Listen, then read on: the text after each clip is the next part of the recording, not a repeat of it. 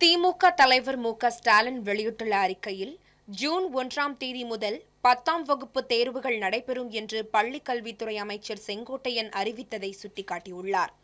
Corona தொற்றினால் பீதியும் அச்சமும் நாளுக்கு நாள் அதிகமாகிக் கொண்டிருக்கும் நிலையில் பள்ளிக் கல்வித்துறை அமைச்சரின் இந்த அவசர அறிவிப்பு மாணவ மாணவியர் மற்றும் அவர் தம் பெற்றோர் மனதில் மேலும் பதற்றத்தை உருவாக்கவே செய்யும் என்று அவர் கூறியுள்ளார்.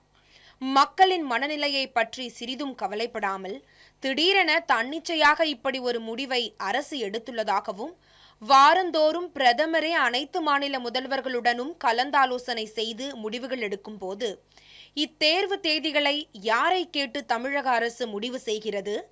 ஆசிரியர் பெற்றோர் சங்க பிரதிநிதிகளின் கருத்து கேட்டு பரிசீலனை செய்யப்பட்டதா?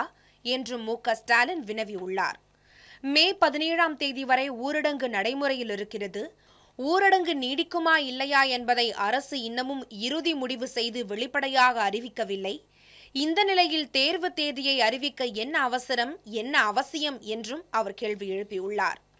சென்னையில் கொரோனா பாதிப்பு குறையாமல் பெருகி வருவதால் தமிழகத்தில் விமானம் மற்றும் ரயில் போக்குவரத்தை மே முப்பத்தோராம் தேதி வரை அனுமதிக்க வேண்டாம் என்று பிரதமரிடம் தமிழக முதல்வர் கோரிக்கை வைத்துள்ளதை சுட்டிக்காட்டியுள்ள அவர் மே முப்பத்தோராம் தேதி வரை ரயில்கள் ஓடாது என்றால் போக்குவரத்து வசதிக்கு உத்தரவாதம் இன்றி ஜூன் ஒன்றாம் தேதி காலையில் மாணவர்கள் அனைவரும் தேர்வுக்கு எப்படி வருவார்கள்?